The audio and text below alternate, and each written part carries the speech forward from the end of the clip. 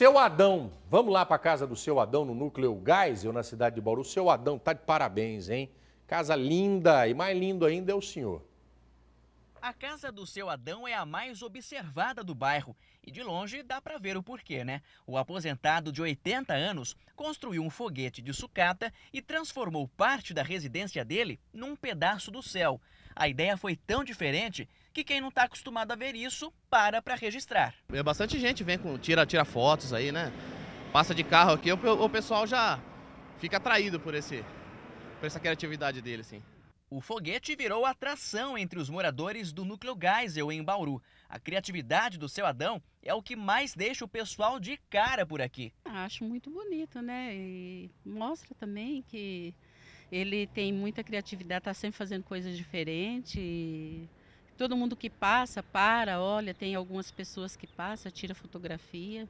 Para fazer o foguete, que tem 9 metros e meio de altura, o seu Adão usou tambor velho e outros materiais recicláveis. Tudo levou dois anos para ficar pronto. O que motivou o senhor a construir isso aqui? Ah, aposentou, não tem nada o que fazer, arrumou uma, uma criatividade, né? E deu trabalho? Dá, dá trabalho, dá trabalho. Dá um pouco de trabalho. Me conta como é que foi. Ah, é a, a, a, paixão da gente por, por certas coisas só serve para ocupar o tempo da gente.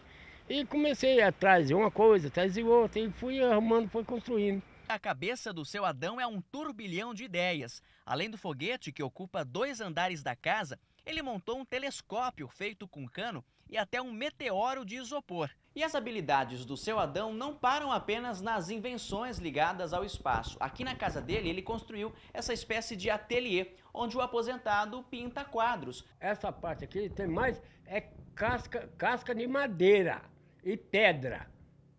Pedra, casca de madeira, tinta, diversos tipos de tinta. E o senhor vende esses quadros? Não, não.